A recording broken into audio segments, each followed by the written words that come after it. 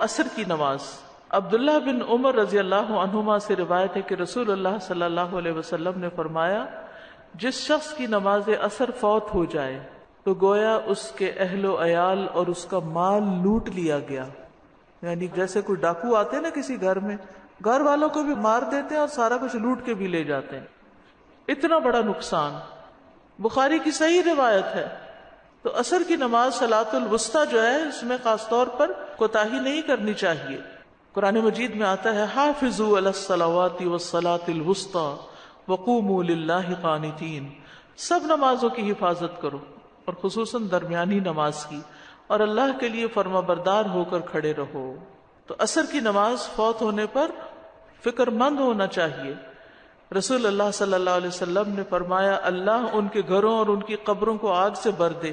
انہوں نے ہمیں سلاط وسطی سے روک دیا یہاں تک کہ سورج غروب ہو گیا۔ آپ نے مشرقین کے حق میں بد دعا کی تھی۔ جب غزوہ احزاب کے موقع پر انہوں نے آپ کو مشغول کر دیا اور نماز نہ پڑھنے دی۔ یہ نماز آبا و اجداد اور بیٹوں سے زیادہ محبوب ہے۔ دوہرے اجر والی نماز ہے۔ یہ نماز پہلی امتوں پہ بھی پیش کی گئی تھی۔ انہوں نے ضائع کر دیا۔ تو اس لیے جو اس کی حفاظت کرے گا، نبی صلی اللہ علیہ وسلم نے فرمایا، اس کو دوہرا اجر ملے گا۔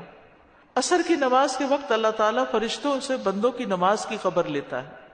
صبح اور شام کے فرشتے فجر اور اثر میں تبدیل ہوتے ہیں اور جو اثر کے وقت جاتے ہیں ان سے پوچھتے ہیں کہ تم نے میرے بندوں کو کس حال میں چھوڑا؟ تو وہ بتاتے ہیں کہ ہم ان کے پاس گئے تو وہ نماز پڑھ رہے تھے اور جب ہم ان کو چھوڑ کے آئے تو وہ نماز پڑھ رہے تھے۔ نبی صلی اللہ علیہ وسلم نے فرمایا، وہ آدمی ہرگز آگ میں نہیں جائے گا۔ جس نے سورج نکلنے سے پہلے اور غروب ہونے سے پہلے نماز پڑھی یعنی فجر اور اثر کی۔ یہ دونوں وقت بڑے اہم وقت ہیں۔ ان کے اذکار بھی ہیں، صبح شام کے اذکار۔ فجر کی نماز کے بعد سے لے کر سورج نکلنے تک اور اثر کی نماز سے لے کر سورج غروب ہونے تک صبح شام کے اذکار پڑھے جاتے ہیں۔ آپ صلی اللہ علیہ وسلم نے فرمایا، جو شخص دو ٹھنڈی نمازیں یعنی فجر اور اثر پڑھے گا، وہ جنت میں داخل ہوگا۔ یہ نمازیں پڑھنے والے اللہ تعالیٰ کا دیدار کر پائیں گے۔ اثر کی نماز چھوڑنا اعمال کی بربادی کا باعث ہے۔ نبی صلی اللہ علیہ وسلم نے فرمایا، جس شخص نے اثر کی نماز چھوڑ دی، اس کے اعمال باطل ہو گئے۔ اصل میں ہوتا یہ ہے کہ دن کا آخری حصہ آ جاتا ہے نا۔ آپ جاب سے واپس جا رہے ہیں، ٹریفک میں پھنس رہے ہیں، آپ اپنے بزنس بند کر رہے ہیں، یا پھر یہ کہ اس وقت بزنس بڑی عروج پر ہوتا ہے۔ بہت زیادہ لوگ آرام کھانا کھا کے اپنے کام کاج کر کے تو خرید و فروخت کے لیے نکل آتے ہیں تو دکانیں زیادہ بزی ہو جاتی یا کوئی بھی وجہ ہو سکتی یا لوگ تھک کے آتے ہیں، گھروں میں کیلولا کرتے کرتے مغرب کر دیتے ہیں۔ خاص طور پر وہ لوگ جو راتوں کو جاگتے ہیں تو وہ پرواہ نہیں کرتے کہ جب آ کے سوئے دوپہر کو تو کب اٹھے۔ اور پھر بعض اوقات بہت تاخیر سے پڑھتے ہیں تو ان سب چیزوں سے بچنے کی ضرورت ہے۔ اثر کی نماز مؤخر کرنا منافق کی صفت ہے۔ رسول اللہ صلی اللہ علیہ وسلم نے فرمایا کیا میں تمہیں منافق کی نماز کے بارے میں نہ بتاؤں؟ وہ اثر کی نماز لیٹ کرتا رہتا ہے، یہاں تک کہ سورج غروب ہونے کے انتہائی قریب ہوتا ہے، اس وقت پڑتا ہے۔ یعنی کبھی کبھار تو ایسا ہو سکتا ہے، لیکن عادتاً روز یہی کچھ کرنا یہ نفاق کی علامت ہے۔ ہم اپنے کچن سے، اپنے کام کی جگہ سے جب وضو کر کے اپنے مسلح میں جاتے ہیں، تو وہی ہماری مسجد ہے۔ تو ہمیں خواتین کو گھر میں کوئی جگہ مخصوص کر لینی چاہیے جہاں ہم سمجھے کہ ہم بھی مسجد جا رہے ہیں۔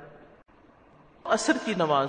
عبداللہ بن عمر رضی اللہ عنہما سے روایت ہے کہ رسول اللہ صلی اللہ علیہ وسلم نے فرمایا، جس شخص کی نماز اثر فوت ہو جائے تو گویا اس کے اہل و عیال اور اس کا مال لوٹ لیا گیا۔ یعنی جیسے کوئی ڈاکو آتے ہیں نا کسی گھر میں، گھر والوں کو بھی مار دیتے ہیں اور سارا کچھ لوٹ کے بھی لے جاتے ہیں۔ اتنا بڑا نقصان۔ بخاری کی صحیح روایت ہے۔ تو اثر کی نماز سلاۃ الوسطی جو ہے، اس میں خاص طور پر کوتا نہیں کرنی چاہیے۔ قرآن مجید میں آتا ہے حافظ الصلاوات والصلاة الوسطى وقوموا قانتین۔ سب نمازوں کی حفاظت کرو اور خصوصاً درمیانی نماز کی۔ اور اللہ کے لیے فرما بردار ہو کر کھڑے رہو۔ تو اثر کی نماز فوت ہونے پر فکر مند ہونا چاہیے۔ رسول اللہ صلی اللہ علیہ وسلم نے فرمایا، اللہ ان کے گھروں اور ان کی قبروں کو آگ سے بھر دے۔ انہوں نے ہمیں سلاط وسطی سے روک دیا، یہاں تک کہ سورج غروب ہو گیا۔ آپ نے مشرقین کے حق میں بد دعا کی تھی۔ جب غزوہ احزاب کے موقع پر انہوں نے آپ کو مشغول کر دیا اور نماز نہ پڑھنے دی۔ یہ نماز آبا و اجداد اور بیٹوں سے زیادہ محبوب ہے۔ دوہرے اجر والی نماز ہے۔ یہ نماز پہلی امتوں پہ بھی پیش کی گئی تھی۔ انہوں نے ضائع کر دیا۔ تو اس لیے جو اس کی حفاظت کرے گا، نبی صلی اللہ علیہ وسلم نے فرمایا، اس کو دوہرا اجر ملے گا۔ اثر کی نماز کے وقت اللہ تعالیٰ فرشتوں سے بندوں کی نماز کی خبر لیتا ہے۔ صبح اور شام کے فرشتے فجر اور اثر میں تبدیل ہوتے ہیں اور جو اثر کے وقت جاتے ہیں ان سے پوچھتے ہیں کہ تم نے میرے بندوں کو کس حال میں چھوڑا؟ تو وہ بتاتے ہیں کہ ہم ان کے پاس گئے تو وہ نماز پڑھ رہے تھے اور جب ہم ان کو چھوڑ کے آئے تو وہ نماز پڑھ رہے تھے۔ نبی صلی اللہ علیہ وسلم نے فرمایا، وہ آدمی ہرگز آگ میں نہیں جائے گا۔ جس نے سورج نکلنے سے پہلے اور غروب ہونے سے پہلے نماز پڑھی یعنی فجر اور اثر کی۔ یہ دونوں وقت بڑے اہم وقت ہیں۔ ان کے اذکار بھی ہیں، صبح شام کے اذکار۔ فجر کی نماز کے بعد سے لے کر سورج نکلنے تک اور اثر کی نماز سے لے کر سورج غروب ہونے تک صبح شام کے اذکار پڑھے جاتے ہیں۔ آپ صلی اللہ علیہ وسلم نے فرمایا، جو شخص دو ٹھنڈی نمازیں یعنی فجر اور اثر پڑھے گا، وہ جنت میں داخل ہوگا۔ یہ نمازیں پڑھنے والے اللہ تعالیٰ کا دیدار کر پائیں گے۔ اثر کی نماز چھوڑنا اعمال کی بربادی کا باعث ہے۔ نبی صلی اللہ علیہ وسلم نے فرمایا، جس شخص نے اثر کی نماز چھوڑ دی، اس کے اعمال باطل ہو گئے۔ اصل میں ہوتا یہ ہے کہ دن کا آخری حصہ آ جاتا ہے نا۔ آپ جاب سے واپس جا رہے ہیں، ٹریفک میں پھنس رہے ہیں، آپ اپنے بزنس بند کر رہے ہیں، یا پھر یہ کہ اس وقت بزنس بڑی عروج پر ہوتا ہے۔ بہت زیادہ لوگ آرام کھانا کھا کے اپنے کام کاج کر کے تو خرید و فروخت کے لیے نکل آتے ہیں تو دکانیں زیادہ بزی ہو جاتی یا کوئی بھی وجہ ہو سکتی یا لوگ تھک کے آتے ہیں، گھروں میں کیلولا کرتے کرتے مغرب کر دیتے ہیں۔ خاص طور پر وہ لوگ جو راتوں کو جاگتے ہیں تو وہ پرواہ نہیں کرتے کہ جب آ کے سوئے دوپہر کو تو کب اٹھے۔ اور پھر بعض اوقات بہت تاخیر سے پڑھتے ہیں تو ان سب چیزوں سے بچنے کی ضرورت ہے۔ اثر کی نماز مؤخر کرنا منافق کی صفت ہے۔ رسول اللہ صلی اللہ علیہ وسلم نے فرمایا کیا میں تمہیں منافق کی نماز کے بارے میں نہ بتاؤں؟ وہ اثر کی نماز لیٹ کرتا رہتا ہے۔ یہاں تک کہ سورج غروب ہونے کے انتہائی قریب ہوتا ہے، اس وقت پڑتا ہے۔ یعنی کبھی کبھار تو ایسا ہو سکتا ہے۔ لیکن عادتاً روز یہی کچھ کرنا یہ نفاق کی علامت ہے۔ ہم اپنے کچن سے، اپنے کام کی جگہ سے جب وضو کر کے اپنے مسلح میں جاتے ہیں، تو وہی ہماری مسجد ہے۔ تو ہمیں خواتین کو گھر میں کوئی جگہ مخصوص کر لینی چاہیے جہاں ہم سمجھے کہ ہم بھی مسجد جا رہے ہیں۔ اثر کی نماز۔ عبداللہ بن عمر رضی اللہ عنہما سے روایت ہے کہ رسول اللہ صلی اللہ علیہ وسلم نے فرمایا، جس شخص کی نماز اثر فوت ہو جائے تو گویا اس کے اہل و عیال اور اس کا مال لوٹ لیا گیا۔ یعنی جیسے کوئی ڈاکو آتے نا کسی گھر میں، گھر والوں کو بھی مار دیتے ہیں اور سارا کچھ لوٹ کے بھی لے جاتے ہیں۔ اتنا بڑا نقصان۔ بخاری کی صحیح روایت ہے۔ تو اثر کی نماز سلاۃ الوسطی جو ہے، اس میں خاص طور پر کوتا نہیں کرنی چاہیے۔ قرآن مجید میں آتا ہے حافظ الصلاوات والصلاة وقوموا للہ قانتین۔ سب نمازوں کی حفاظت کرو، اور خصوصاً درمیانی نماز کی۔ اور اللہ کے لیے فرما بردار ہو کر کھڑے رہو۔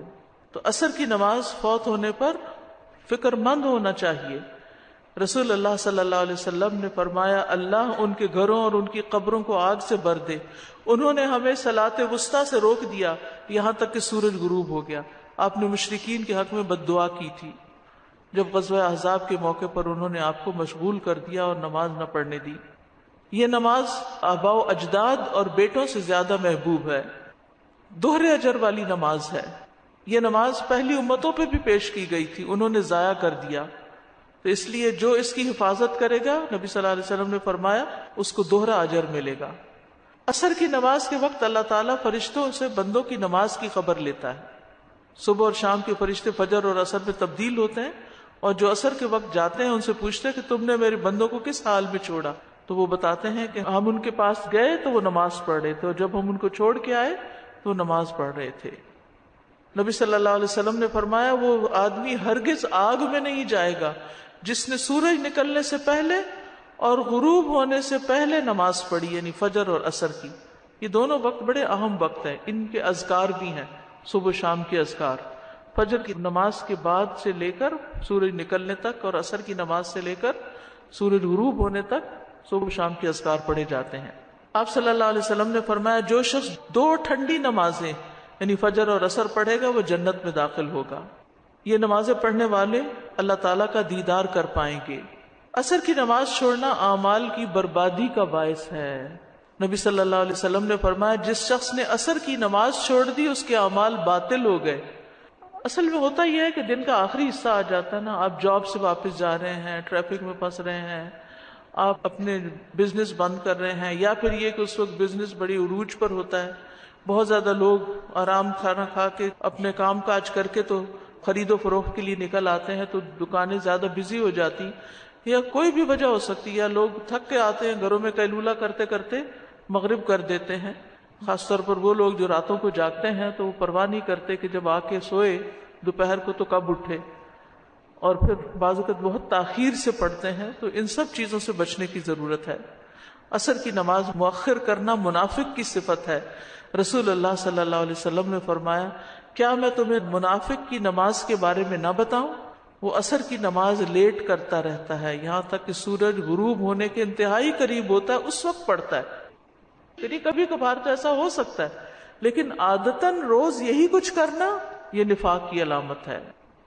ہم اپنے کچن سے، اپنے کام کی جگہ سے جب وضو کر کے اپنے مسلح پہ جاتے ہیں، تو وہی ہماری مسجد ہے۔ تو ہمیں خواتین کو گھر میں کوئی جگہ مخصوص کر لینی چاہیے جہاں ہم سمجھیں کہ ہم بھی مسجد جا رہے ہیں۔